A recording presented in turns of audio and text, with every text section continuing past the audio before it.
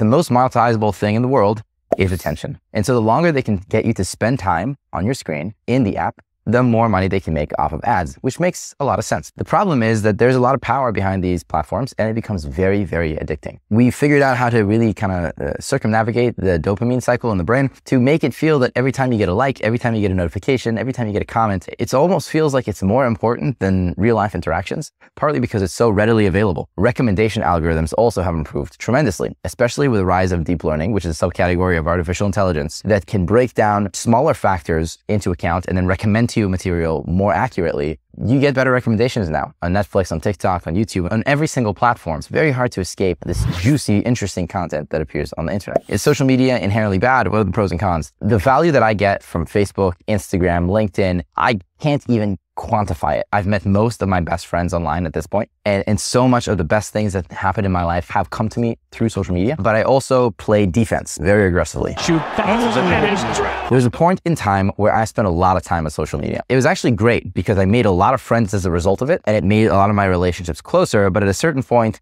it tipped over the edge. And I started being not a producer of content, but a consumer of content. And I made a very easy decision. I'm going to be only a producer of content, not a consumer of content. So the first thing that I did is I made a little Chrome extension to let me block the main feed of Facebook, the suggestions bar on uh, YouTube, the homepage of YouTube, the homepage of LinkedIn, all the suggestions on LinkedIn, and limited Instagram to where I could only message on Instagram. With time, these platforms cleaned out the, the vulnerabilities I use in order to build these blockers, but it taught me a couple of concepts around how to be a producer and not a consumer of content.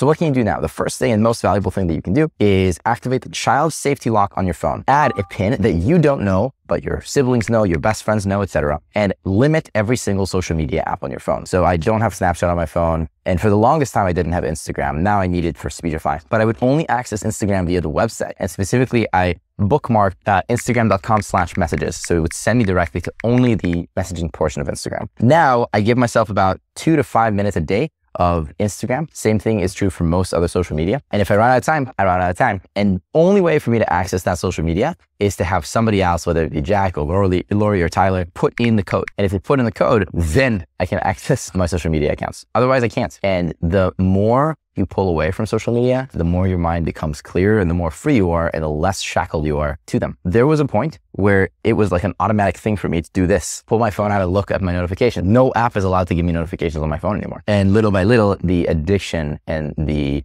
desire to do this has has stopped. Usually the reason people go on social media is because they have a five minute break during the day and they want to fill it with something interesting. They open social media and they're going to watch, you know, something on YouTube, something whatever. But I deleted YouTube from my phone and I don't have access to it on Safari because Safari also I only have two minutes a day in the mobile browser. Instead, what I do is I open my notes file and I write my goals. I'll write a song, I'll write a poem, or I'll send a message of gratitude to Jan or Jack or Simon or Chaitu or somebody else on, on, on my team or a member of my family. Or I'll call my mom or my brother. But usually one of the things that I do the most is I send messages of gratitude to people in my life who I really care for. I would say that I send five to eight messages like this per day. It's just become a habit. That's my habit of social media is like send a direct message to people about the fact that you appreciate them. Habits make up a person. They are the things that you default to when there is no clear plan. For me, I end up being very intentional about my habits because I'm intentional about the person that I want to be. And so I don't let uh, someone else decide for me how I'm going to run my life. I run my life the way that I want to run my life. And so the first thing with my habits is I have my values. So being productive is a virtue. Being unproductive is an anti-virtue. Spending time on love is a virtue. And spending time on learning is a virtue. So you can see very easily how my habits reflect my values. So first of all, identify what your values are. Secondly, uh, design the systems around you to facilitate good habits. So uh, in my house, I don't have junk food. I only have high protein foods.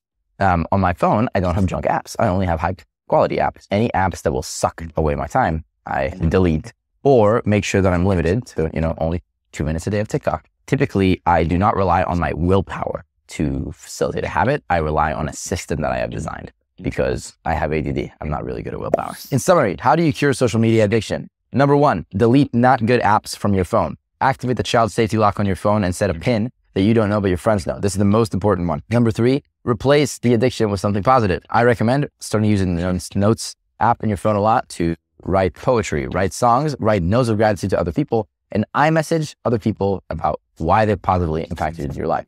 Whether it be your family, your friends, people who you just met, it's a lot more gratifying than getting likes on Instagram. Another amazing thing to introduce as an alternative to spending seven hours on the screen per day is to use Speechify. The nice thing about Speechify is you can go on a walk, you can go on a bike ride, you can go work out, and you can listen to a book, you can listen to a website. It really does positively impact your life. So do that. Download Speechify on the App Store. You can download the Android app, the iPhone app, the Chrome extension. Now there's also an API that you can use. Tech CEOs can build uh, products that are designed to get you addicted.